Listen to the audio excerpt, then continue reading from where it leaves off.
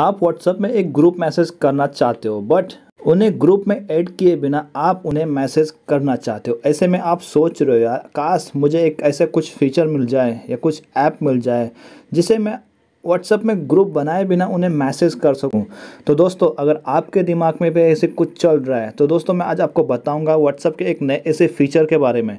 जिसे आप अपने 256 दोस्तों को ग्रुप बनाए बिना एक ही साथ उन्हें मैसेज कर सकते हो। दोस्तों, इसके लिए आपको ये वीडियो लास्ट तक देखना होगा। तो दोस्तों, मेरा नाम है दिनेश और आप सभी का मेरे चैनल में स्वागत है। अगर आप मेरे चैनल में पहली बार आए हो तो मेरे चैनल को लाइक और सब्सक्राइब ज़रूर करना, क्योंकि मुझे ऐसे नए नए वीडियो बनाने में मोटिवेशन मिलेगा। तो दोस्तों, हम बिना टाइम गंवाए जानते हैं कैसे हम अपने दोस्तों को बिना ग्रुप बनाए मैसेज कर सकते तो दोस्तों, सबसे पहले हम व्हाट्सअप ओपन करते हैं और यहाँ पे हम जानते हैं कि स्टेप बाय स्टेप कैसे हम अपने व्हाट्सअप ब्रॉडकास्ट लिस्ट बना सकते हैं। दोस्तों, जैसे हमने व्हाट्सअप ओपन किया और हमें यहाँ पे राइट साइड में थ्री डॉट को क्लिक करना है। जैसे हम यहाँ पे थ्री डॉट को क्लिक करेंगे, दोस्तों, यहाँ पे आपको दिखाएगा न्यू ब्रॉडकास्ट हमें इसे क्लिक करना है। जैसे हम यहाँ पे क्लिक करेंगे दोस्तों, आप यहाँ पे अपने ब्रॉडकास्ट लिस्ट क्रिएट कर सकते हो कि आप जिन्हें जिन्हें मैसेज करना चाहते हो, उनका नंबर आप यहाँ पे ऐड कर सकते हो।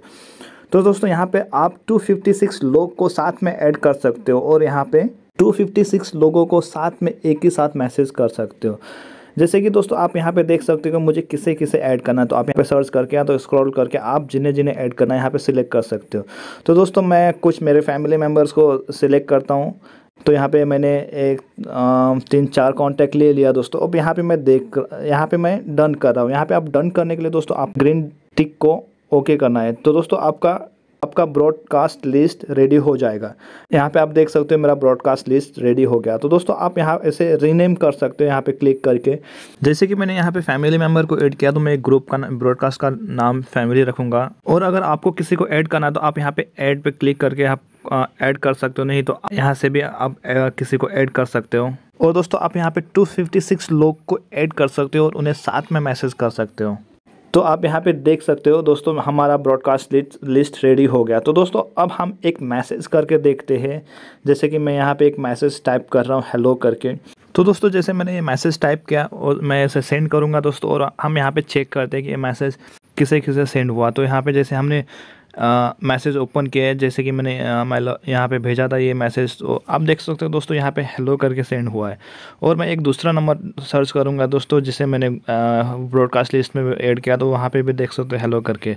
तो दोस्तों आपको कुछ इस तरह मैसेज सभी सभी को मैसेज चले जाएगा। और हम, अभी हम चेक करते हैं मैसेज किसने किसने रिसीव किया है। तो दोस्तों तो हम ब्रॉडकास्ट लिस्ट ओपन करेंगे और हम हेलो के ऊपर कुछ सेकंड के लिए क्लिक करके रखेंगे। जैसे हम क्लिक करेंगे दोस्तों, आपको कुछ ऐसा दिखाई देगा और यहाँ पे राउंड बटन में क्लिक करना और आप यहाँ पे देख सकते हो कि आपका मैसेज किसको किसको पहुँचा है। अभी तक ये मैसेज दो जन के पास सेंड हो गया है और दो जन को सेंड होना बाकी है। तो दोस्तों, अब हम देखेंगे कि किसने हमारा मैसेज देखा। तो दोस्तों, इसके लिए हमें, मैं दूसरा व्हाट्सअप ओपन कर रहा हूँ। और वहाँ से मैं ये मैसेज रीड कर रहा हूँ।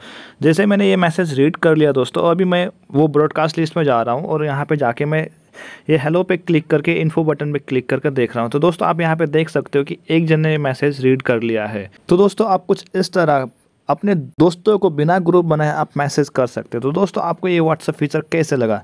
मुझे कमेंट करके ज़रूर बताना और मेरे चैनल को लाइक और सब्सक्राइब ज़रूर कर देना। Thank you